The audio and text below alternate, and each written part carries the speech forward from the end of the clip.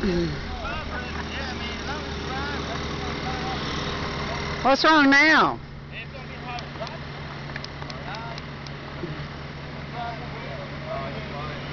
Weren't supposed to turn the air conditioner on. We're out of gas? You shouldn't have turned the AC on, man. They- Then you tell them it didn't work.